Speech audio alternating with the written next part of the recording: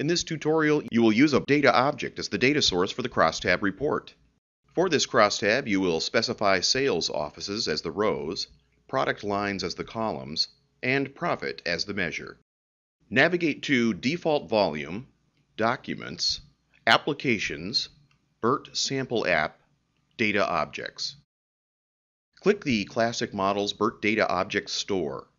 Interactive crosstabs appear in a new tab. We will specify sales offices as the rows for the crosstab.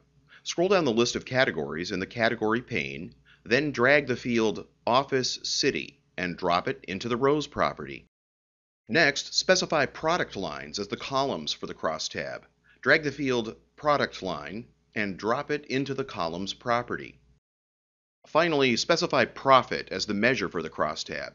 Drag the field Profit and drop it into the measures property selecting sum as the function. Click OK. Let's modify this crosstab to display profit for specific sales offices and products. You will filter the crosstab rows so that only U.S. sales offices appear.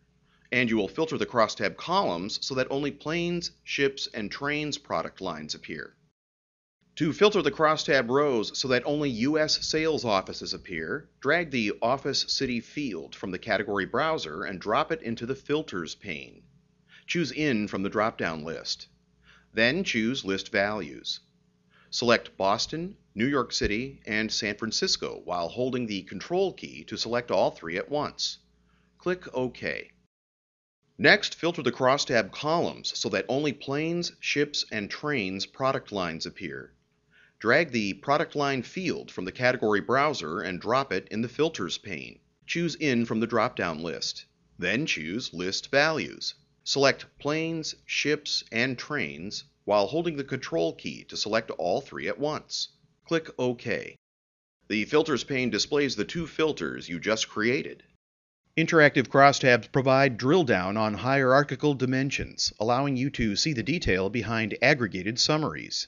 To drill down on the trains product line so that data for individual train models is visible, click the plus sign next to the trains column heading. Next, we will add grand totals and subtotals for each product line and sales office. In the toolbar, choose Data, Totals. To add grand totals to the crosstab for sales office and product line, check Profit Sum in both row area and column area. Next, add subtotals to the crosstab for product line by sales office. Click Subtotals, then check Profit Sum, Product Line.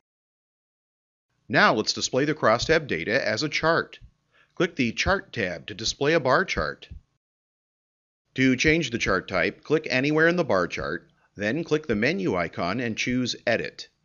Click Type, then select Pie Chart. In this tutorial, you learned how to create a crosstab report and display the results in a chart. Thanks for watching.